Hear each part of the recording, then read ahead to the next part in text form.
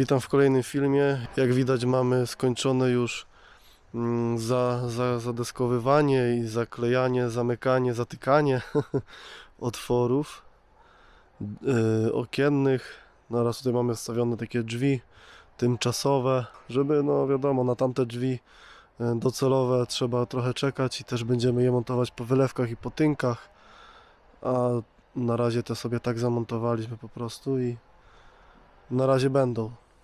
Tak się prezentują na futrynie metalowej. Tutaj górne zamknięcie działa, nie? O, no, ustawiliśmy na paru klinach, na piance.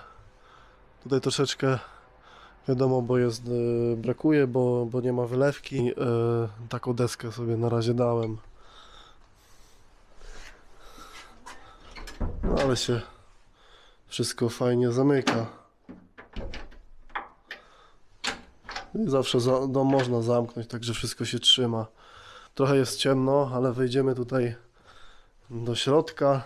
Posprzątaliśmy, jak widzieliście wcześniej na timelapsach.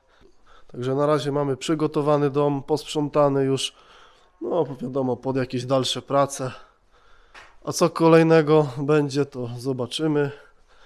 E, Na razie też, jak widzieliście, trochę e, nie wrzucaliśmy filmu, wiadomo, bo no jednak jest e, przestój. Na razie takich jakichś większych prac się nie wykonuje. Tutaj z takich e, rzeczy, co jeszcze zrobiliśmy, to odkopałem.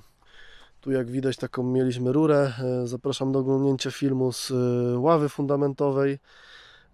Tu mamy właśnie tam pod ławą fundamentową jest rura FI 110.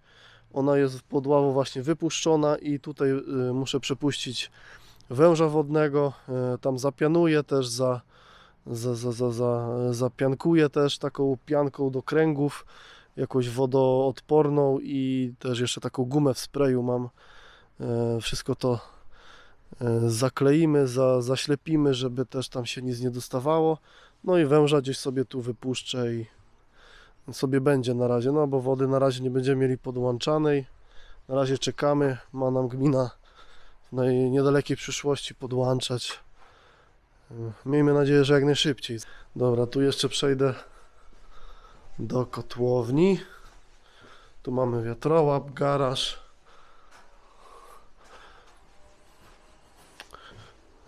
No i tu właśnie jest ten wąż wodny. Na razie sobie tak przygotowałem. No i tutaj mam y, tą rurę 110.